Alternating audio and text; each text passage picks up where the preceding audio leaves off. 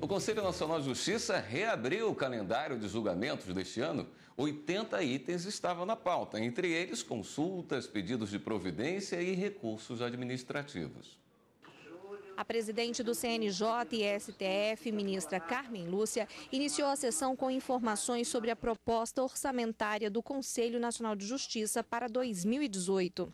Para a elaboração dessa proposta, foram ouvidos todos os coordenadores de ação orçamentária no Conselho Nacional de Justiça.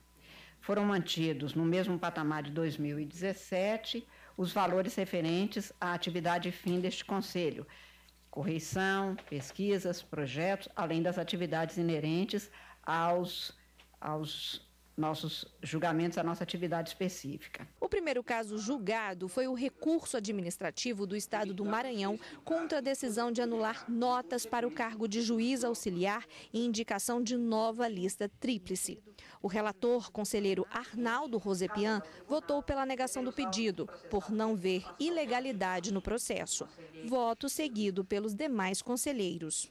Também foi julgado o caso de nomeação de parente de titular de cartório no Paraná para vaga administrativa. O procedimento de controle pedia anulação da nomeação por se caracterizar nepotismo com base na Constituição Federal. O relator, o conselheiro Carlos Levanhag, observou que não há lei proibindo a contratação de parentes em cartórios. Seguindo o entendimento do relator, o conselheiro João Otávio de Noronha reforçou que não existem regras específicas para a realização de concurso para apenas uma vaga. Com base no princípio da moralidade e constitucionalidade, a conselheira Maria Tereza Willer abriu divergência e foi seguida pela presidente do CNJ, ministra Carmen Lúcia. Por maioria de votos, foi mantida a nomeação.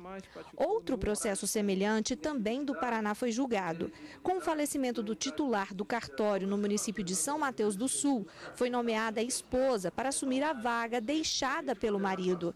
Na falta de regras para substituição em cartório e realização de concurso público, os conselheiros mantiveram a nomeação.